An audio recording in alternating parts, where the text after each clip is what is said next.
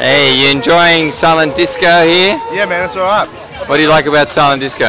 I like that the fact that you know individuals can come here and they can choose a selective channel of the three, and respectively, uh, the colours will change, and everyone else around it will depict them as uh, not actually uh, listening to anything at all, and hence the name Silent Disco.